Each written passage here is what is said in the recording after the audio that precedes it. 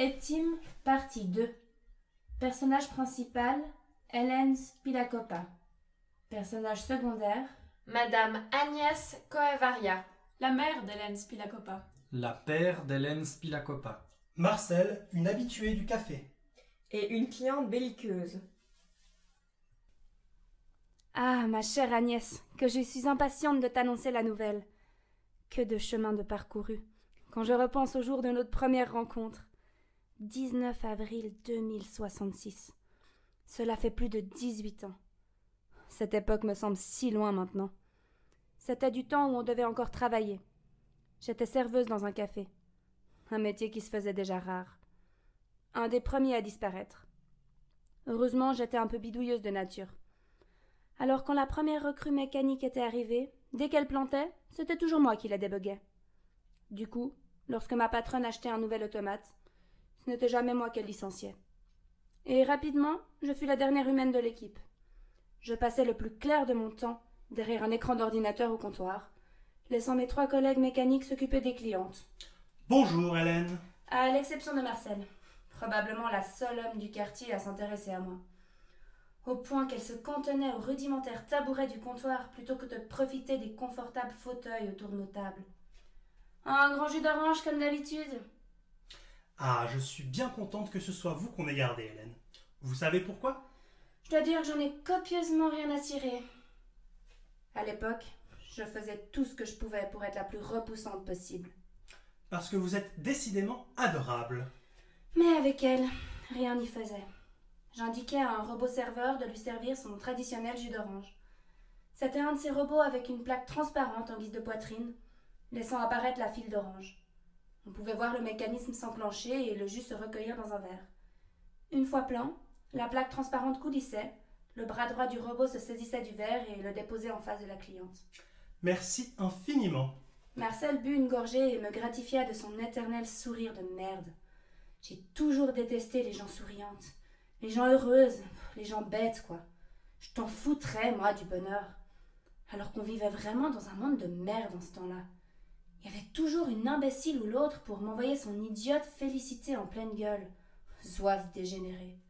Je suis sûr qu'au fond de vous, vous m'aimez bien. Et je vous intrigue, malgré tous vos efforts pour vous convaincre du contraire. Comment diable peut-elle me trouver adorable? Vous vous posez la question, je le lis sur votre visage. Le plus insupportable avec les connes, c'est quand elles ont raison. Vous vous trompez, Marcel. Ce n'était là que pure indifférence. Ce qui est amusant, c'est que c'est précisément ça qui vous rend adorable. Si je veux un jus d'orange, je peux aller dans n'importe quel bistrot de la ville et je sais qu'une serveuse polie et attentionnée m'y accueillera à bras ouverts, mécanique ou non. Par contre, il n'y a qu'un seul endroit où je puis trouver une serveuse caractérielle, ronchonne et soupirante. Dans ce monde où tout change si vite, vous êtes comme un phare, une encre, un invariant. La seule serveuse encore humaine que je connaisse, finalement. C'est pour ça que je vous adore. Et que j'adore votre mauvaise humeur. C'était à la fois lumineux et insensé. Mais sur le moment, je pensais avoir trouvé la réaction idéale. Autre chose? Et pourtant, là encore, elle me gratifia de son sourire à la con, indécrottable. Enfin, à part ce collant boulet, je n'avais pas trop à me plaindre, je dois dire. Le salaire était misérable, mais avec toutes mes aides mécaniques, j'avais le temps de vaquer à mes occupations, en général. Mais ce jour-là, ce fut le défilé des enquiquineuses. Une femme venait de pulvériser la vitrine. Une autre se jetait sur elle, comme une furie, pour la rouer de coups.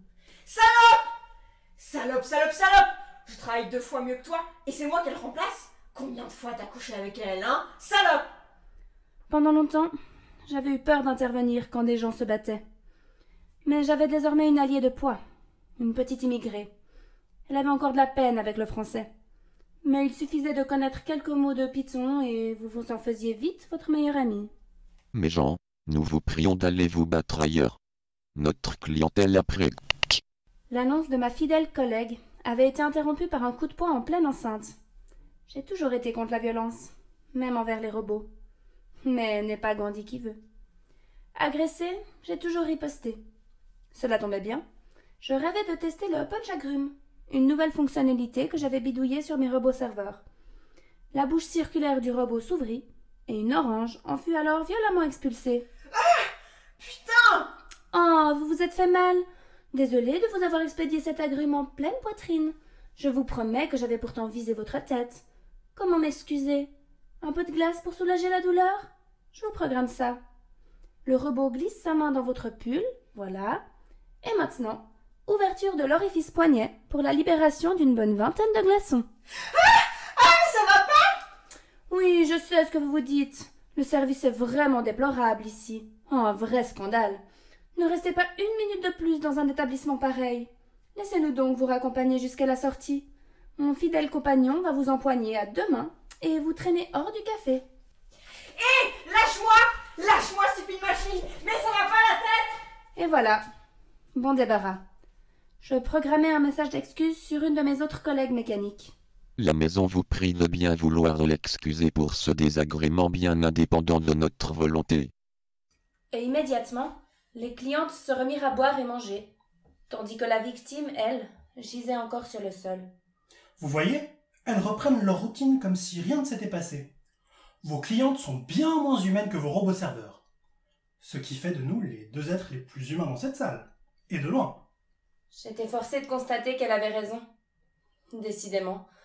Insupportable, cette Marcel. Affligeant, n'est-ce pas? Mais cela me conforte dans mon idée. Je reviens. Ne vous inquiétez pas, je serai de retour dans quelques minutes. Prenez votre temps. Et encore son éternel sourire débile. On vivait vraiment une triste époque. Avec ces injustices énormes entre les honnêtes chômeuses et les superflus salariés. J'imagine que c'était l'enfer nécessaire à la transition. L'humanité s'était construite en faisant du travail un devoir. Le passage à une société qui ne requiert plus aucun travail humain ne pouvait se faire que dans la douleur. Etty m'avait pourtant compris le problème depuis longtemps. Mais elle avait vu tellement juste, tellement tôt, que son ascension en avait été retardée. Je retire tout de même quelque chose de positif dans cette période. Notre rencontre. C'est dans le chaos le plus confus et désespérant qu'on a le plus de chances d'apercevoir Dieu. Et ce jour-là, Dieu poussa la porte de notre café. Elle observa le sol jonché de débris de verre, puis elle posa son regard sur moi. Dure journée ici, n'est-ce pas? Agnès Coevaria, la déesse de toutes les athées. Visionnaire, juste, brillante, bienveillante, et surtout 108 kilogrammes de charme absolu. Puis-je vous aider à ramasser ces débris? Et elle les ramassa. Elle était là, au sol, à quatre pattes, dans l'humilité la plus totale. Je rêvais. Je rêvais forcément. Et au lieu de l'aider, je restais plantée là, bouche bée, comme le plus stupide des phasmes. Vous savez, on aura plus vite fini si on s'y met toutes les deux. Pour la première fois de ma vie, je vis quelqu'un sourire sans avoir l'air idiote. Puis les autres clientes réalisèrent qu'elles étaient en présence de Madame Coevaria. Madame Coevaria, c'est vraiment vous? Ça alors, c'est Madame Coevaria ici? Madame Coevaria? Ce n'est pas à vous de faire ça, voyons. Laissez-moi vous aider. Tu as vu? C'est Madame Coevaria. Allons l'aider. Cette scène était magique. Toutes les clientes accouraient autour de notre Dieu pour s'agenouiller à ses côtés et ramasser des débris de verre. Le genre de scène qui vous redonne foi en la beauté de l'humanité. Comme quoi, même les pires zouaves savent reconnaître une vraie déesse. De mon côté, j'étais toujours pétrifiée d'admiration. Eh bien, je crois qu'on est arrivé au bout. Elle avait cette mèche magnifique qui venait sublimer ce visage d'une exquise touche d'asymétrie. Un thé, s'il vous plaît. Elle m'avait commandé un thé Avec deux sucres. avec deux sucres Et un nuage de lait, si possible. Et un nuage de lait si possible. Ça va aller? Mais moi, c'était seulement ses yeux que j'avais écoutés. Sans problème. Merci infiniment. Sans problème? Après n'avoir rien écouté, c'était un peu vite dit. Enfin, heureusement, j'avais toujours eu un excellent instinct pour deviner les commandes des clientes. Elle est allée s'asseoir, et c'était magnifique. Pour la première fois, je regrettais de devoir déléguer la tâche à une collègue mécanique. C'est elle qui aurait l'honneur de servir notre déesse. Elle n'aura même pas conscience de la chance qu'elle a.